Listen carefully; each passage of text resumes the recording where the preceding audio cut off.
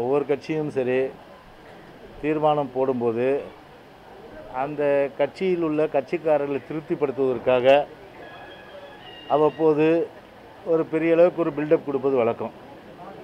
So அந்த வகையில் தான் இது வந்து திமுகவை பொறுத்தவரை ஒரு பில்டப் கொடுப்பதற்காக வந்து ஒரு தீர்மானத்தை ஏற்றி அது வந்து இன்றைக்கி வந்து நீங்கள் அது கேள்வியாக கேட்குறீங்க உயிரை பணயம் வைத்து அர்ப்பணித்து கொண்டிருக்கின்ற அத்தனை முன்பண முன் முன்கள பணியாளர்களுக்கு எங்களுடைய நன்றியை தெரிவித்துக் கொள்வோம் என்று சொன்னால் அது உண்மையே தமிழர் பண்பாடு. அந்த பண்பாடு கொஞ்சம் கூட இல்லாத ஒரு கட்சி தான் திமுக.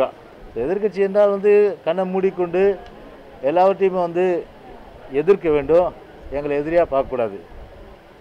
எதிர்க்கட்சி என்றால் பாராட்ட வேண்டிய நேரத்தில் பாராட்டணும் தவறு தான் சுட்டி காட்டணும் ஆனால் எப்போதுமே வந்து தவறு தவறு தவறு க தப்பு தப்பு தப்புன்னு சொன்னால் பார்க்குறவங்க கண்ணில் தான் அது வந்து அந்த வித்தியாசம் இருக்குது இப்போ நிதி தன்னாட்சியை பற்றி பேசுகிறார திரு ஸ்டாலினும் திமுகவும். ஏன் அன்னைக்கு வந்து நிதி தன்னாட்சி செல் அதாவது ஒரு அட்டா ஃபைனான்ஷியல் அட்டானமி அதாவது நிதி தன்னாட்சியை மெயின்டைன் பண்ணுறதுக்கு ஏன் அன்றைக்கி வந்து மத்திய அரசில் வந்து அங்கம் வகிக்க அங்கம் வகிக்கும் போது மாநிலத்துக்கு சேர வேண்டிய அந்த நிதியெல்லாம் ஏன் வாங்கி தரதுக்கு எந்த முயற்சி எடுக்கலை? திமுக செஞ்சுதா? இலங்கையில் கிட்டத்தட்ட வந்து அவ்வளோ பேர் படுகொலை பண்ணாங்க. வாய முடின்னு இருந்தாங்க. ரெண்டு லட்சம் பேர் செத்தான். அந்த மாதிரியெல்லாம் வந்து கொடுமை பண்ணிவிட்டு இனத்தை அழித்து தமிழக பொருளாதாரத்தை அழித்து தமிழனுடைய வாழ்வாதாரத்தை வாழ்வாதாரத்தை அழித்து தமிழ்நாட்டு உரிமைகள்லாம் பறி கொடுத்து விட்டு இன்றைக்கி வந்து ஏதோ வானத்தை வந்து குதிச்சது போல் இன்றைக்கி பேசிகிட்டு இருக்காரு இன்றைக்கி இளைஞர்கள் இளம்பெண்கள் பாசறை மூலம் கட்சியை பொறுத்தவரை நம்முடைய சத்துணவு தந்த சரித்திர நாயகன் புரட்சித் தலைவர் டாக்டர் எம்ஜிஆர் அவர்களும் அதே போன்ற இதே புரட்சித் தலைவர் அம்மா அவர்களும் கட்டி காத்து அனைத்து இந்திய அண்ணா திராவிட முன்னேற்ற கழக இயக்கத்தை ஒரு மாபெரும் எஃகு கோட்டையாக ஒரு சக்திமிக்க இயக்கமாக உருவாக்கி இன்றைக்கு ஆள்போல் தலைத்து எவருமே அசைக்க முடியாத ஒரு எஃகு கோட்டையாக அனைத்து இந்திய அண்ணா திராவிட முன்னேற்ற கழகம் இருந்து கொண்டிருக்கிற நிலையில் நம்முடைய மாண்புமிகு ஒருங்கிணைப்பாளர் மாண்புமிகு இணை ஒருங்கிணைப்பாளர் அவருடைய அறிவுரையின் பேரில் இன்றைக்கு ஒவ்வொரு வாக்குச்சாவடிகளுக்கும் நம்முடைய இளைஞர் இளம்பெண்கள் பாசறை அமைக்கப்பட வேண்டும் என்ற அந்த கருத்தின் அடிப்படையில் இன்றைக்கு துறைமுக தொகுதியிலே இன்றைக்கு அமைக்கப்பட உள்ளது. ஏற்கனவே எந்த ஒரு இயக்கத்தை காட்டிலும் இளைஞர்கள் இளம்பெண்கள் அதிகமான அளவிற்கு அனைத்து இந்திய அண்ணா திராவிட முன்னேற்றக் கழகத்தில் தம்மை அர்ப்பணித்துக் கொண்டு சிறப்பான முறையிலே அவர்கள் தங்களுடைய கழக பணியாற்றி கொண்டிருக்கின்றார்கள். கட்சிக்கு இன்னும் ஒரு புதிய உத்வேகம் ஒரு உந்துதல் அளிக்க வேண்டும் என்பதற்காக தமிழ்நாட்டில் உள்ள எல்லா மாவட்டங்களிலும் வாக்குச்சாவடி வாரியாக இளைஞர் இளம்பெண்கள் பாசறை அமைக்கும்போது கட்சியினுடைய கொள்கைகள் குறிப்பாக நம்முடைய பொன்மனச்சமல் புரட்சித் தலைவர் டாக்டர் எம்ஜிஆர் அவருடைய லட்சியங்கள் அம்மாவுடைய லட்சியங்கள் கொள்கைகள் சாதனைகள் திட்டங்கள் இவையெல்லாம் மக்களிடத்திலே இளைஞர்கள் இளம்பெண்கள் எடுத்து செல்வதற்கு வசதியாகவும் இந்த இளைஞர்கள் இளம்பெண்கள் பாசறை அமைவதோடு மட்டுமல்லாமல் அந்தந்த வாக்குச்சாவடிக்கு உட்பட்ட தெருக்களில் என்னென்ன பிரச்சனைகள் பொது பிரச்சனைகள் இருக்கின்றதோ அந்த பிரச்சனைகள் எல்லாம் அரசின் கவனத்திற்கு கொண்டு வந்தும் அந்த இடத்திலே அந்த பிரச்சனை தீர்க்க வேண்டிய பிரச்சனைகள்லாம் தீர்ப்பதற்கும் உரிய அந்த நடவடிக்கைகளை நம்முடைய இளைஞர் இளம்பெண்கள் அவர்கள் ஈடுபடுவார்கள் என்பதை தெரிவித்துக் கொள்கின்றேன்.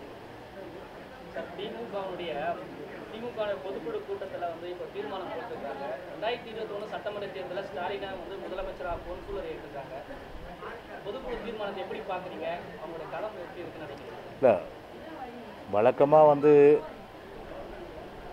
ஒவ்வொரு கட்சியும் சரி தீர்மானம் போடும்போது அந்த கட்சியில் உள்ள கட்சிக்காரர்களை திருப்திப்படுத்துவதற்காக அவ்வப்போது ஒரு பெரிய அளவுக்கு ஒரு பில்டப் கொடுப்பது வழக்கம். ஸோ அந்த வகையில் தான் இது வந்து திமுகவை பொறுத்தவரை ஒரு பில்டப் கொடுப்பதற்காக வந்து ஒரு தீர்மானத்தை ஏற்றி அது வந்து இன்றைக்கி வந்து நீங்கள் அது கேள்வியாக கேட்குறீங்க ஆனால் மக்கள் என்ன தீர்மானத்தில் இருக்கிறாங்க? அதை பார்க்கணும். மக்களுடைய தீர்மானம் என்பது அறுதியிட்டு உறுதியிட்ட தீர்மானம் என்று சொன்னால் அனைத்து இந்திய அண்ணா திராவிட முன்னேற்ற கழகத்தை ஆட்சி கட்டிலில் அமர்த்துவது தான் இதுதான் மக்களுடைய தீர்மானம். எனவே அவங்க வந்து அவங்க கட்சியில் வந்து பில்டப் கொடுக்கறதுக்கு அவங்க எது வேணாலும் போடலாம். ஆனால் மக்களுடைய தீர்மானம் என்பதை நாம் பார்க்க வேண்டும். மக்களுடைய தீர்மானம் என்பது அனைத்து இந்திய அண்ணா திராவிட முன்னேற்ற கழகத்தை ஆட்சி கட்டில் அமர்த்த வேண்டும். மீண்டும் பொன்மனச்செம்மல் புரட்சி தலைவர் டாக்டர் எம்ஜிஆர் ஆட்சி அம்மாவுடைய ஆட்சி தமிழ்நாட்டில் மலர வேண்டும். இதுதான் மக்களுடைய எண்ணமும் தீர்மானமும் கூட. அடுத்த கேள்வி. இந்த இதுல வந்து பிற அளவுக்கு ஊழல் நடந்திருக்கு அப்படின்னு தீர்மானம் போட்டுருக்காங்க இது வந்து பல துறையினுடைய அமைச்சர்களும் ஒத்துழைப்பு இருக்கு. இதுக்கு வந்து சட்ட ரீதியாக பதில் சொல்ல வேண்டிய ஒரு கட்டாயம் ஏற்படும் அப்படின்னு சொல்லிட்டு ஒரு தீர்மானத்தையும் போட்டிருக்காங்க அதாவது வாய்ச்சவடால் வந்து கூடாது. தப்பு எங்கே நடந்திருக்கு? தப்பு நடந்தால் அதை வந்து விசாரிக்கிறதுக்கு நீதிமன்றம் இருக்குது ஏன் அப்படி இருந்தால் இவங்க வந்து நீதிமன்றத்துக்கு போயிருக்கலாமே இல்லை அப்போ ஒரு கோயபல்ஸ் பிரச்சாரம் தொடர்ச்சியாக அரசை பொறுத்தவரை வந்து கோ கொரோனா கோவிட் பொறுத்தவரையில் வந்து முழுமையாக ஒழிச்சு கட்டினட்டுன்னு வரிந்து கட்டி கொண்டு இன்றைக்கி வந்து களப்பணி ஆற்றுகிற நிலையில் அதை வந்து பாராட்டுறதுக்கு மனதில்லை. ஒரு வரி தீர்மானம். இந்த மாதிரி தமிழ்நாட்டில் இறப்பு எண்ணிக்கை குறைஞ்சிருக்கு டிஸ்சார்ஜ் எண்ணிக்கை அதிகம் இருக்குது அதாவது நலம் பெற்று திருமூல் அதிக எண்ணிக்கையாக இருக்குது படிப்படியாக ஏறி இப்போ இறங்கிட்டு இருக்குது இதெல்லாம் நல்லா பாராட்டப்படக்கூடிய ஒரு விஷயங்கள்.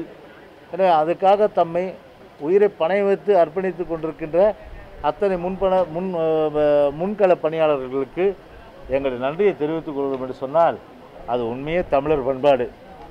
அந்த பண்பாடு கொஞ்சம் கூட இல்லாத ஒரு கட்சி தான் திமுக.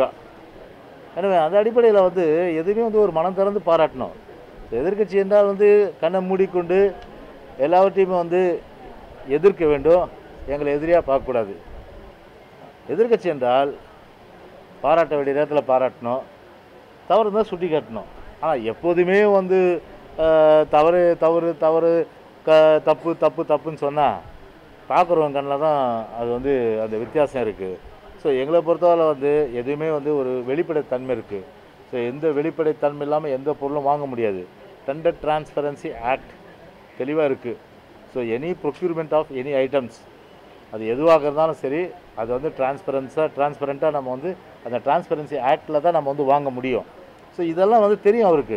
ஆனால் மக்களை வந்து இந்த நேரத்தில் திசை திருப்புறதுக்காக இந்த மாதிரி ஒரு தீர்மானங்கள் போட்டு திசை திருப்ப நினச்சா கண்டிப்பாக அது வந்து எடுபட போகிறது கிடையாது. அடுத்த கேள்விப்பா அதுதான் சொல்கிறேன் நானும் சொல்கிறேன் நான். அந்த மாதிரி தவறே செய்யலை நாங்கள் டிரான்ஸ்பரண்ட்டாக வந்து ப்ரொக்யூர்மெண்ட் இருக்குது எல்லா விஷயங்கள்லையும். அந்த மாதிரி இருக்கிறதுல ஓப்பனாக சொல்கிறேன் அந்த மாதிரி வந்து அவங்க நீதிமன்றத்துக்கு போனால் நீதிமன்ற வழக்கை நாங்கள் கண்டிப்பாக சந்திப்போம். அதில் எந்த மாறுபட்ட கருத்து இல்லை ஓ ஏன்? தவறு பண்ணாத வந்து எதுக்கு பயப்பட வேண்டிய அவசியம் இல்லை.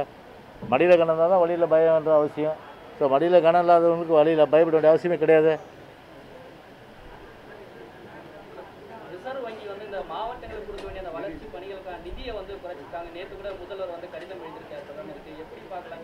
நேற்று கூட மாண்புமிகு முதலமைச்சர் வந்து உடனடியாக வந்து கடிதம் எழுதியிருக்காரு. பொதுவாகவே வந்து ஒரு வளர்ந்த மாநிலம். அதே போல் வளர்ச்சி பெறுகின்ற மாநிலம். அதே போன்று வளர்கின்ற மாவட்டம் வளர்ந்த மாவட்டம். வளர்ந்த மாவட்டம் வளர்கின்ற மாவட்டம் வளர்ந்த மாநிலம் வளர்ச்சி அடைகின்ற மாநிலம். நல்லா நாங்கள் பண்ணுறதுனால எங்களுக்கு கொடுக்குற தண்டனையாக நிச்சயமாக இது வந்து இருக்கக்கூடாது.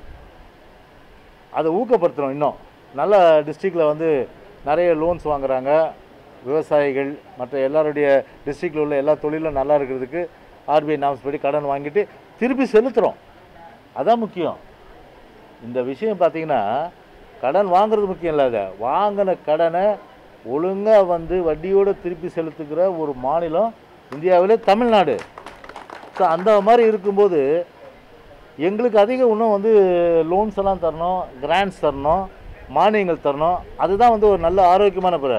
அதனால் வந்து ஒரு குழந்தைய ஆரோக்கியமாக நம்ம வந்து வளர்க்குறன்றதுக்காக உனக்கு நான் வந்து எந்த சலுகையும் தரமாட்டேன்னு சொல்கிறது என்பது மிக மிக ஒரு தவறான அணுகுமுறை. எனவே அந்த அணுகுமுறை மாறணும். அதனால் வந்து எந்த வகையிலையும் வந்து ஆர்பிஐ வந்து அதை கட் பண்ணக்கூடாது. Reserve bank of India so அதுதான் மா மாநிலம் நம்ம- நம்முடைய மாநில முதலமைச்சர் வந்து மத்திய அரசு வலியுறுத்திருக்காரு ஏற்கனவே வந்து ஜிஎஸ்டியில் ஒரு பன்னெண்டாயிரம் கோடி தரணும். அதுவும் நம்ம வந்து அழுத்தம் கொடுத்துருக்குறோம். ஸோ அதே போல் வந்து ம- கடந்த காலங்களில் திமுக காங்கிரஸ் கூட்டணி அரசாங்கம் அந்த காலத்தில் கிட்டத்தட்ட வந்து ஒரு நாலாயிரம் கோடி மத்திய அரசு கொடுக்க வேண்டியது நமக்கு வந்து கொடுக்கல நமக்கு.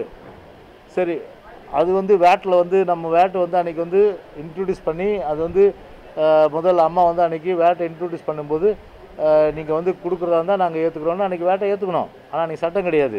நாலாயிரம் கோடி மத்திய அரசு அன்றைக்கி கொடுக்கல காங்கிரஸ் டிஎம்கே கவர்மெண்ட்டில் அப்போ காங்கிரஸ் இப்போ நிதி தன்னாட்சியை பற்றி பேசுகிறாரு திரு ஸ்டாலினும் திமுகவும் ஏன் அன்றைக்கி வந்து நிதி தன்னாட்சி செல் அதாவது ஒரு அட்டா ஃபைனான்ஷியல் அட்டானமி அதாவது நிதி தன்னாட்சியை மெயின்டைன் பண்ணுறதுக்கு ஏன் அன்றைக்கி வந்து மத்திய அரசில் வந்து அங்கம் வகிக்க அங்கம் வைக்க போது மாநிலத்துக்கு சேர வேண்டிய அந்த நிதியெல்லாம் ஏன் வாங்கி தரதுக்கு எந்த முயற்சி எடுக்கலை?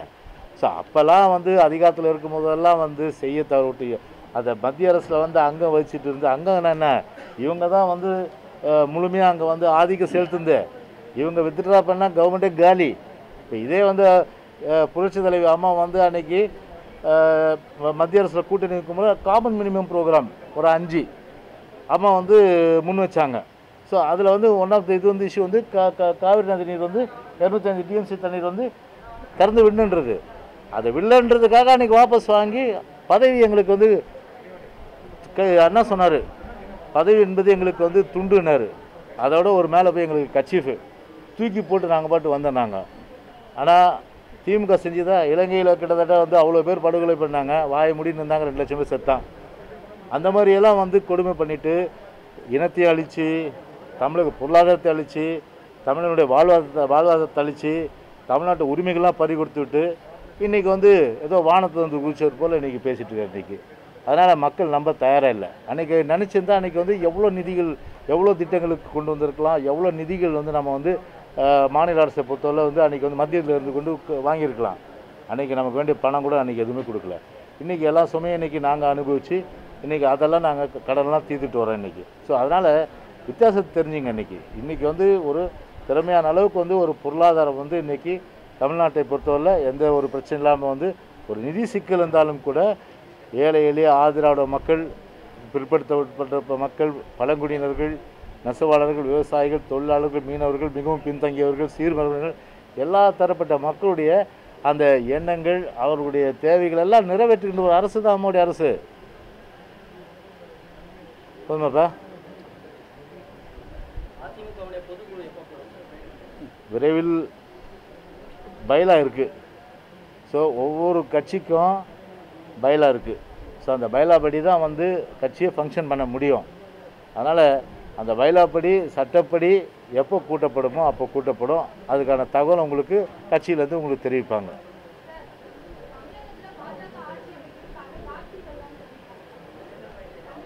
ஆ.